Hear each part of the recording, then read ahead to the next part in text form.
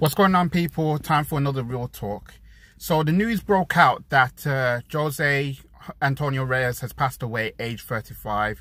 Uh, he was involved in um, a car um, crash, um, and I'm very, very sad about that because you know um, this puts everything into perspective. You know, um, as a man, as an Arsenal fan, it puts everything into perspective.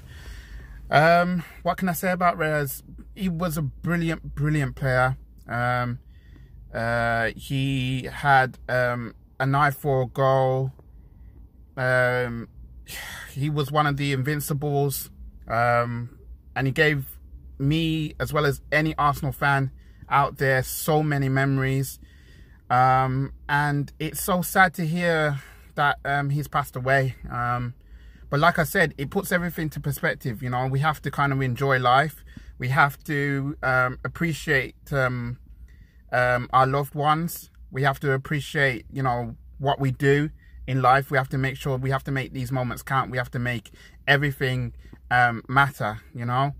Um, um, I know what it's like to have, like, it's sudden passing. And, you know, I've lost I lost my grandparents um, a few years ago um, on my mother's side, and they passed six months apart from each other.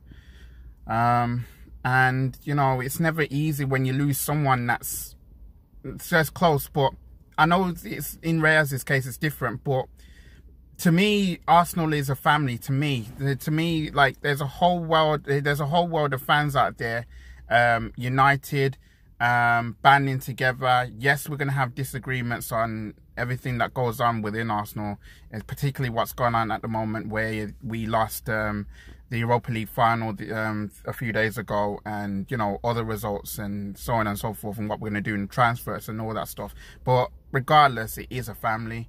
And when one of us lose, uh, uh, lose um, one of our own as a, as a family, we have to kind of band together. So it's important to remember that we um, appreciate what he's done for us. We appreciate, um, you know, his life. My condolences go out to his family, and um, yeah, like it's sad how how it's uh, how the news has broken out. It's very very sad, very very tragic, and um, as I say, I wish his family. Um, um, nothing but love and respect. We all thinking of, um, we're all thinking of them at this um, at this very sad time and um, yeah, um, it's really, it's quite sad. It's very very sad. I um I don't know what else to say.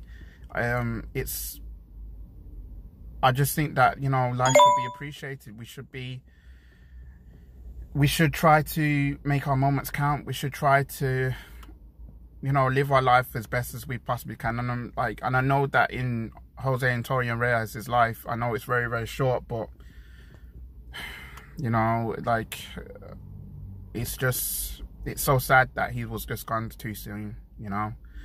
So um, yeah, um, respect um, respect to Jose Antonio Reyes. Um, I hope wherever he is, um, I hope he knows that there's so many legions of legions of fans, Arsenal fans, Sevilla fans, all the other clubs that he's ever played for. Um, I hope he understands that, you know what, as a football fan in total, um, he was a good football player, very, very good player, and he'll be missed. I'm out.